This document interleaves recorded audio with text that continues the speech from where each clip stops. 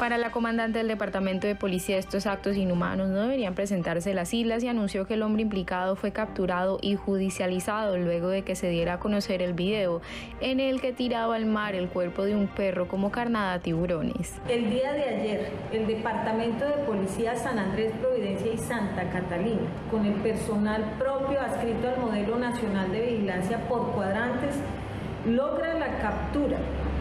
la judicialización de una persona quien venía realizando unos actos en contra de un animal doméstico. Esto se logra gracias a la denuncia y al aporte de algunos videos por parte de la misma comunidad.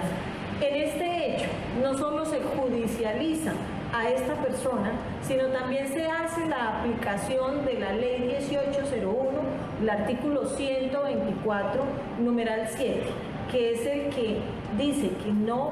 se puede permitir que se induzca o se tolere a que un animal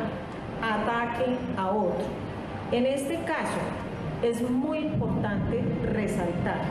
no solo el apoyo de la comunidad, sino por supuesto la atención de manera inmediata y la reacción de todo